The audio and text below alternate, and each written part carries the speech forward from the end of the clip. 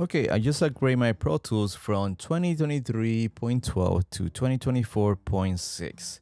And the problem that I have is that I don't see my third-party plugins. I'm to show you what I'm running. I'm using Monterey 12.72 and this is an Apple M1 Pro so it's a laptop computer I'm doing a test here because I mainly do my work on my iMac computer and then uh, let me show you the specification. Uh, I'm using Monterey OS uh, 12.72 and Pro Tools is 23.12 and all my plugins work perfectly.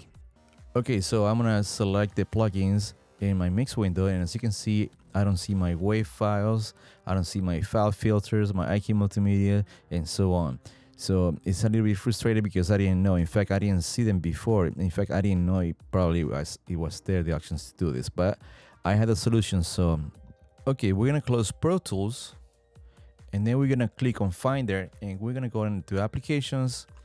Let's find the Pro Tools application and right click on it and select get info. And in here there's going to be an option that you need to select. It's called open using rosetta to be honest i'm not familiar with rosetta i always thought it was a software separate software. Maybe it is i don't know. But this option is now available in this um, version of pro tools.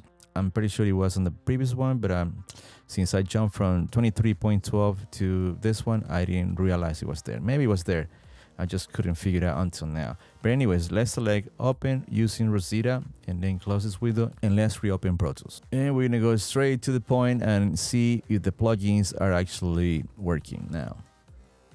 Okay, so here we are. Uh, I'm gonna go into the edit mix window and then here I'm just gonna click anywhere basically and then select EQ or dynamic and there they are. There they are. All my plugins are back in place where it's supposed to be.